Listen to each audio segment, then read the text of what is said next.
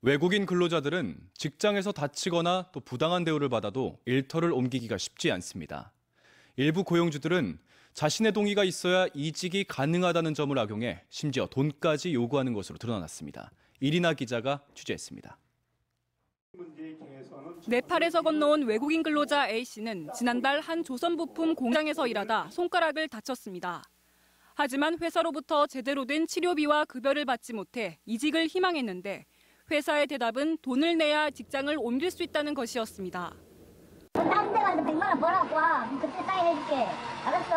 돈이 없어요. 그래서 네, 부탁하고 고용주의 허락이 있어야 일터를 옮길 수 있는 외국인 고용법을 빌미로 불법으로 돈을 요구한 겁니다.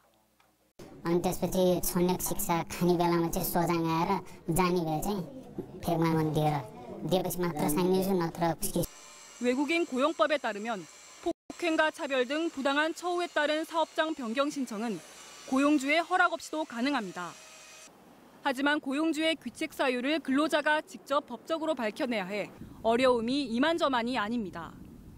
본인이 더 이상 그 사업장에서 근로하기 힘들다 그런 경우에는 이제 그런 문제가 있는 부분에 대해서 지- 문제 제기를 해서 확인이 됐을 경우에는 사업주 저기 센터에서 그렇게 할 수가 있죠. 인권보호단체들은 외국인 고용법이 지나치게 사업주에게 유리하게 적용되고 있다고 주장합니다. 사업장 이동에 대한 제한이라고 하는 것은 어, 결국은 어, 이 고용허가 제도를 유지하게끔 하는 제도인과 동시에 산업 구조 조정에도 악영향을 주기 때문에 연간 사업장 변경과 관련한 외국인 노동자들의 민원은 5만여 건. 전문가들은 관련법을 재정비하지 않은 한 외국인 근로자들의 노동권은 계속 침해받을 수밖에 없다고 지적합니다. MBC 뉴스 이리나입니다.